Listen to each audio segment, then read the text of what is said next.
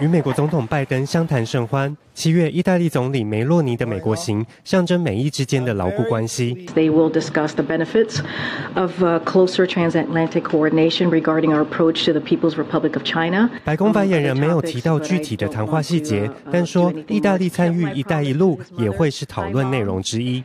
作为相对亲中的欧洲国家，意大利似乎与美中两国都友好。但根据路透社的消息，意大利已经正式通知中国将退出“一带一路”倡议，而且时间点特别赶在二零二四年三月备忘录自动续约前。退出后，七大工业国集团 G7 就没有任何一国参加“一带一路”。事实上，意大利总理梅洛尼上台前就曾批评加入“一带一路”是个错误的决定。更有人用木马屠城记形容中国是在收买政治影响力。二零二三年底，在印尼举办的 G 团体峰会上，意大利总理梅洛尼与中国国家主席习近平曾经场边会谈，期盼加深两国贸易。如今似乎已经决定先踩刹车。在美中角力白热化的时刻，身为 G7 成员的意大利退出“一带一路”，无疑是对中国的一大打击。金新闻综合报道。